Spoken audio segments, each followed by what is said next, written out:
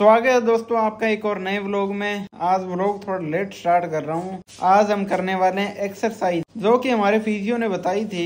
जो एक्सरसाइज रहेंगी वो आपको मैं दिखाता हूँ कि कौन कौन सी एक्सरसाइज बताई है, जिससे पैर को और ज़्यादा आराम मिलेगा और पैर जल्दी सही हो जाएगा पंद्रह दिन के अंदर अंदर तो पहले तो ये एक छोटा टोवल है, इसको गोल बना रहना है पूरा। गोल बना के पैर के नीचे देना जैसे कि अब पापा देंगे।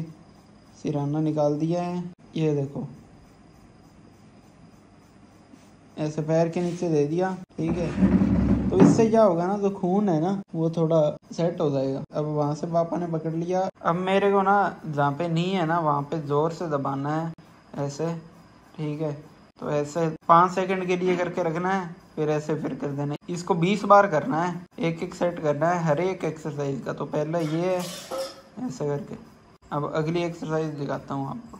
और जो अगली है ना, उसमें इससे और आराम मिलता है घुटने को, मोड़ने में। अब ये है। ये, यहाँ से पापा थोड़ा सपोर्ट कर दें और ये जितना ऊपर होता है ना, वो लेके आना है। दर्द तो होता है, पर क्या ही कर सकते हैं। अभी जैसे बीस करूँगा ना तो धीरे धीरे और ऊपर आता जाएगा ये।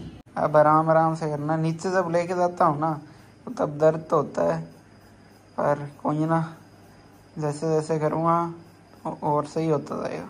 तो दोस्तों इतने टाइम बाद कुर्सी पे बैठ गया हूँ। अभी करवा ही रहे थे इसके दस सेट हो गए थे। बढ़िया तो नहीं लग रहा है पापा से करवा के पर अब मजबूरी है। तो दोस्तों कुर्सी पे तो ना सिर्फ़ पाँच मिनट ही बैठा गया मेरे से मेरे वो चक्कर आने लग गए।